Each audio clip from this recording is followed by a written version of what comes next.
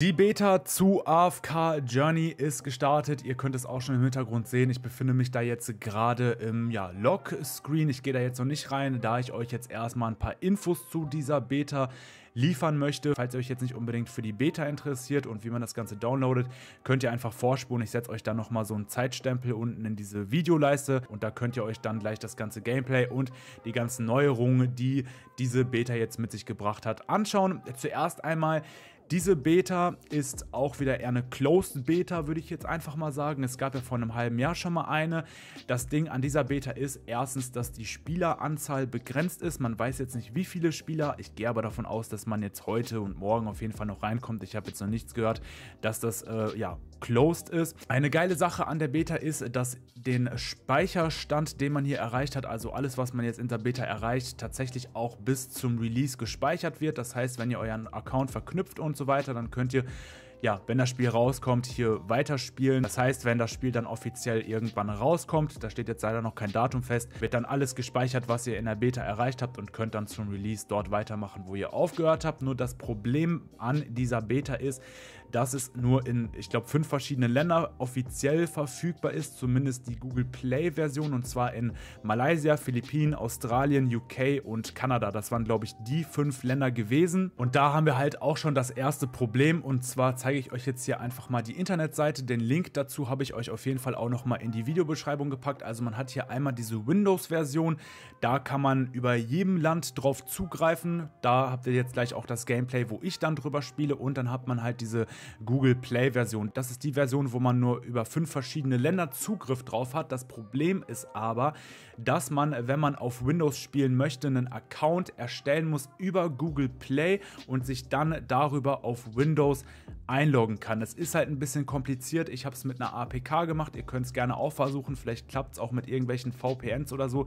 Ich bin da leider nicht der Experte drin, aber nur damit ihr da auf jeden Fall schon mal Bescheid wisst, dass man das Ganze so gesehen ja erst irgendwie über eine VPN oder sonstiges erstmal herunterladen muss. Das auf jeden Fall schon mal dazu. So, wir sind hier jetzt im Spiel und falls ihr das dann runtergeladen habt, ihr seht es dann, habt ihr hier links oben euren Avatar. Falls ihr dann über der Google Play Version das Ganze spielt, über die normale AFK Journey Windows-Version kann ich euch jetzt schon mal sagen, das Spiel fühlt sich tausendmal flüssiger an, die Grafik ist auch viel geiler und so weiter. Da geht ihr dann einmal hier oben drauf auf Einstellungen, Others und geht dann auf euren Account. Ich kann jetzt leider nicht drauf gehen, sonst sieht man meine E-Mail-Adresse und könnt euch da verknüpfen und euch dann über Windows anmelden. So funktioniert das Ganze. Also, die Beta ist auf jeden Fall deutlich besser, das habt ihr im Titel stehen. Jetzt nicht unbedingt, was die Installation und so angeht, aber das Game an sich ist halt sehr, sehr geil und ich würde sagen, wir fangen jetzt direkt an mit der ersten Änderung, die ich für mich persönlich hier entdeckt habe und die ist tatsächlich auch bei dem Punkt Einstellungen und zwar bei der Qualität. Ihr könnt es hier unten sehen, man kann die FPS einstellen, entweder auf 30, 60 oder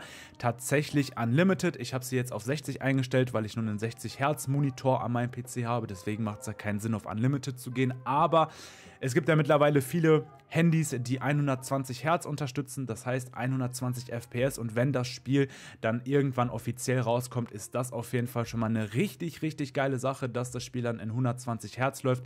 Falls man einen 240 Hertz Monitor am PC hat oder so, wird das, denke ich, auch mal auf 240 Hertz laufen. Ich habe auch gehört, dass man das auf dem PC im Querformat spielen kann. Ich weiß jetzt leider noch nicht, wie das genau geht. Vielleicht finde ich das nochmal heraus und dann kann ich da in den nächsten Tagen dann auch nochmal eine Video zu hochladen. Also das auf jeden Fall hier erstmal zu den ganzen Einstellungen. Es gibt aber noch viel, viel mehr. Und zwar, ja, würde ich sagen, Ihr kennt das Spiel ja an sich. Ich habe da schon mal zu der ersten Beta ein Video zugemacht. So qualitätstechnisch und so sah das auf jeden Fall alles viel schlechter aus. Ich weiß, die Grafik ist jetzt immer noch nicht die beste, aber ich würde sagen, dass sich das schon ja so ein bisschen verbessert hat. Man hat halt hier die ganze Map und sowas. Und die erste Änderung, da würde ich sagen, gehen wir auch schon mal direkt erstmal auf dieses Mythical House und zwar auf die noble Taverne. Und hier haben wir eine richtig coole Änderung. Erstmal haben wir jetzt nicht mehr diesen einen Raum, wo man hier Helden beschwören kann, sondern es gibt tatsächlich auch schon direkt einen zweiten Raum und hier sind die Prozente auch ein bisschen besser. Also Epic Heroes zieht man hier zu 5,22%,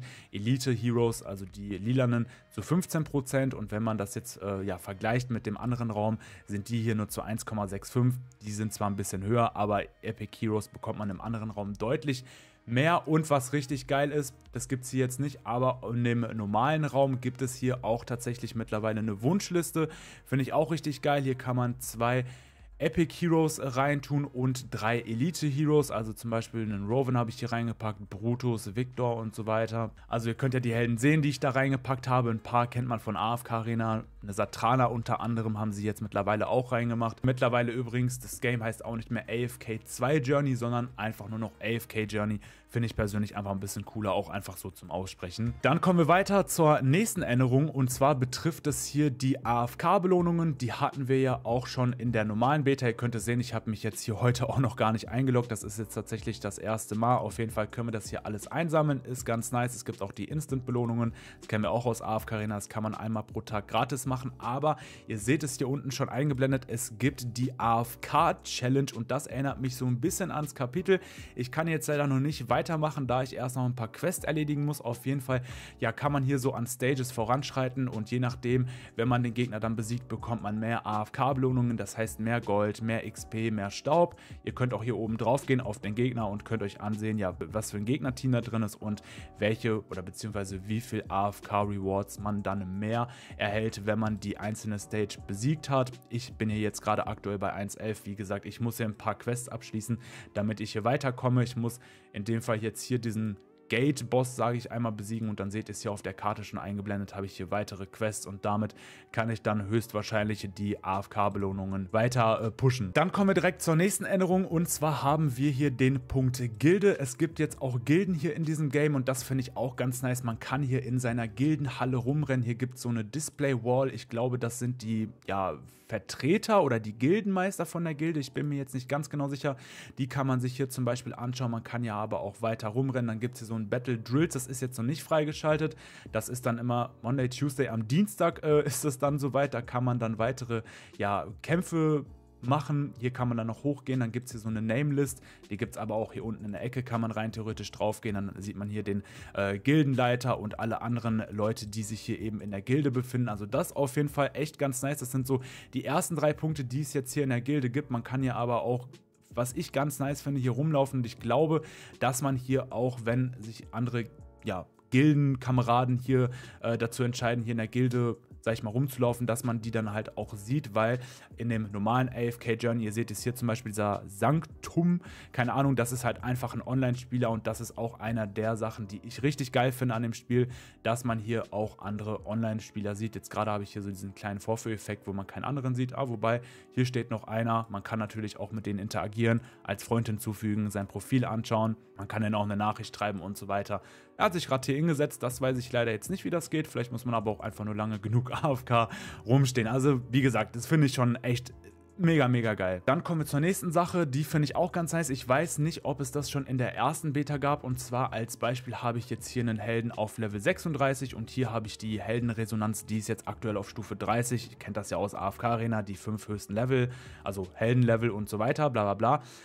Aber was ganz nice ist, man kann hier rein theoretisch auf die Feder gehen, dann hat man hier seine Heldenresonanz. Als Beispiel wähle ich jetzt Satrana aus und kann die hier einfach tauschen und die wechseln sich vom Level her. Und das ist auch eine Sache, die ich sehr, sehr cool finde, weil wenn man am Anfang irgendwie die falschen Helden levelt oder so, zumindest jetzt erstmal nur vom Level, nicht von der Aufstiegsstufe her, kann man die dann halt im Nachhinein einfach so tauschen. Das finde ich richtig, richtig geil. Hier gibt es dann auch solche, ich vergleiche es immer so ein bisschen mit dem Elder Tree.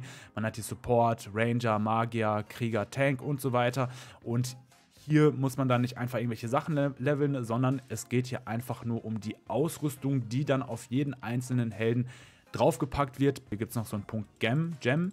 Keine Ahnung, ist jetzt anscheinend in der Beta noch nicht so weit, dass das hier am Start ist, aber zum Full Release wird das dann auch möglich sein. Ich würde sagen, ich habe jetzt diesen Gate Boss, da bin ich gestern nicht dran äh, ja, vorbeigekommen, aber dadurch, dass ich jetzt 11 Stunden AFK war, glaube ich, dass ich meine Helden jetzt erstmal genug leveln kann, somit, dass ich den dann besiegen kann. Ich würde sagen, ich packe jetzt auch hier erstmal die Heldenresonanz auf Level 31, damit ihr auch erstmal so ein bisschen ja, anschauen könnt, äh, wie das Ganze jetzt hier vom Level her aussieht. Es läuft auf jeden Fall auch alles viel, viel flüssiger, wie gesagt, als in der ersten Beta. Das macht halt wirklich mega Spaß, hier das Game zu spielen. Gucken wir mal, okay, Lucius packen wir jetzt leider nur noch auf Level 33 und dann können wir ja jetzt hier einfach mal auf den äh, ja, Gegner gehen und den einfach mal attackieren. Es gibt auch bei verschiedensten Kämpfen ab und an mal irgendwelche Mauern, die dazwischen sind oder so, wo man dann seine Helden optimal positioniert trainieren muss. Das ist auch so eine Sache. Das ist jetzt aber nicht bei jedem Kampf.